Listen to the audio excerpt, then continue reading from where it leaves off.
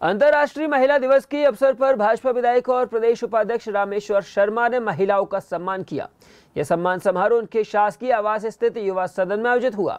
यहाँ उन्होंने विभिन्न क्षेत्रों में अलग अलग विधाओं में काम कर समाज में नाम रोशन करने वाली कई महिलाओं को पुष्प गुच्छ और शॉल श्रीफल भेंट कर उनका सम्मान किया और इनके द्वारा देश भर में समाज के लिए किए जा रहे कामों को भी सराहा। अंतर्राष्ट्रीय महिला दिवस है।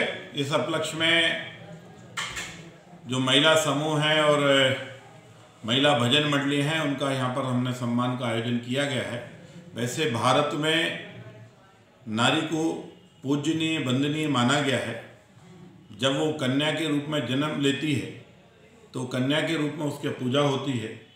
जब वो ब्याही जाती है तो पतिव्रता नारी के रूप में उसका सम्मान और आदर और पूजा होती है।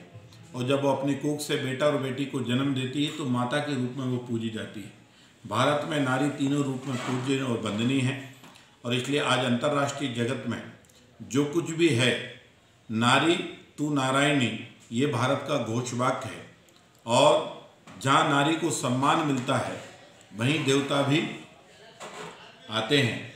और इसलिए भारत में नारी का सम्मान का एक है। शुरू से अनादिकाल से भारत में नारी का सम्मान किया गया है। और पूरे देश में, दुनिया में कहीं भी चले जाइए कोई भी देश ऐसा नहीं मिलेगा जिसकी कोई माता हो। अमेरिका की कोई माता नहीं है, इंग्लैंड की भी कोई माता नहीं है।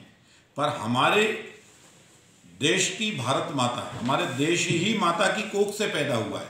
हम देश को भी एक माँ के कोख से पैदा हुए।